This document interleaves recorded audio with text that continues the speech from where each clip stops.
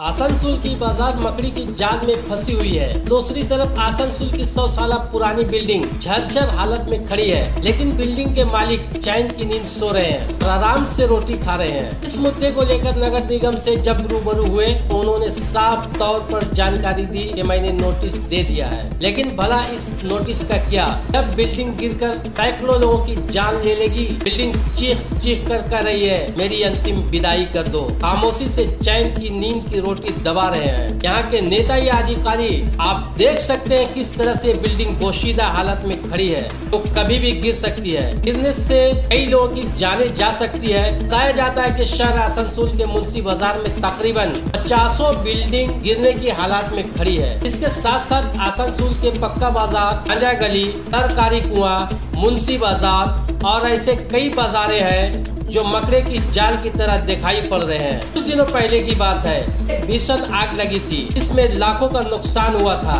बताया जाता है कि वो आग शॉर्ट सर्किट की वजह से हुई थी। सवाल पैदा होता है कि प्रशासन और नेता इस बिजली की तार की मरम्मत क्यों नहीं करते? इंतज़ार कर रहे हैं कि कोई बड़ी घटना का और बाज़ार के रहने वालों से रूबरू करवाते हैं। दिखाते हैं कुछ खौफनाक तस्वीरें। इससे बिल्डिंग कम से कम नहीं भी तो कम से कम सौ बिल्डिंग है ऐसे। तो समझिए कि साठ सत्तर अस्सी साल का होगा सत्तर अस्सी साल का होगा इससे कम का नहीं होगा।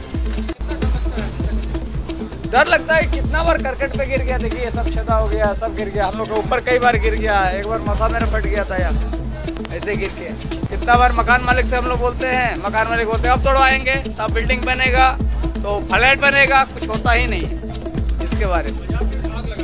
जी। जी जी जी। बहुत बहुत ज़्यादा। देखिए तार कैसे कैसे घुमा हुआ इतना कंजेस्टेड है, यहाँ कोई करने वाला नहीं ना प्रशासन सुनता है, ना कोई। बिल्टी में कई बार हम लोग लिख लिख के दिए।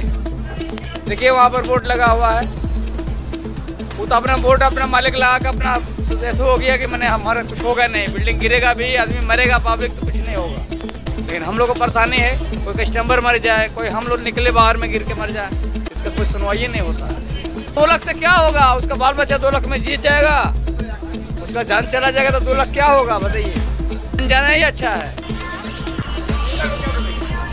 अब क्या हम लोग बोले? जब नहीं करता है प्रशासन तो हम लोग क्या कर सकते हैं? हम लोग तो धंधा अपना पेट दो रोटी के लिए सुबह से आते हैं, शाम तक हम लोग बैठते हैं, बेचते हैं। लेकिन दिन भर यहीं रहने पड़ता है हम लोग। वो भी कुछ होता ही नहीं है। प्रशासन खाली आता है, फ़ोटो खींच के ले जाएगा, कैमरा घुमा के। आया बिल्डिंग बनेगा। मकान मालिक आता है, साल में, दो साल में भाड़ा उठा के लेके चल जाता है। जी हंड्रेड परसेंट आए नहीं बोल सकते। मकड़ा के जाल में फंसा हुआ है इसमें अगर आग लग जाए या कुछ हो जाए तो यार नहीं, गाड़ी आने का साधन है, ना कुछ है, ना कुछ है। आदमी जल के मरेगा। या संपत्ति दे जाएगा या आदमी जल के भी मरेगा रविंद्र साहु।